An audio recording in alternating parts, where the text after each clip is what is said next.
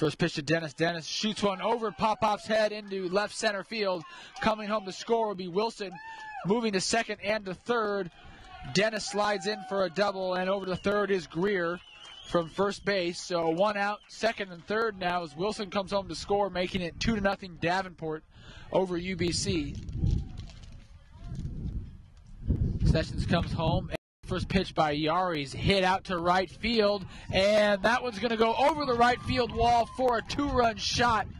UBC is on the board, three to two now, as Yari crushes the first pitch he sees from Sessions right over the right field wall.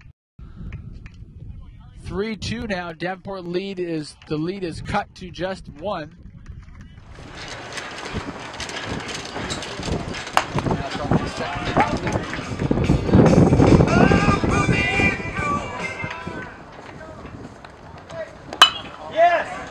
Yes!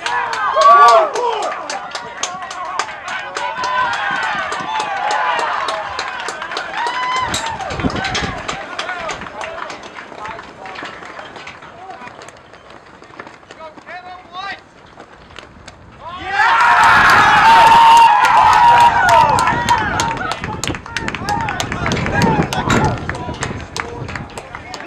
Keep it, keep it, keep it.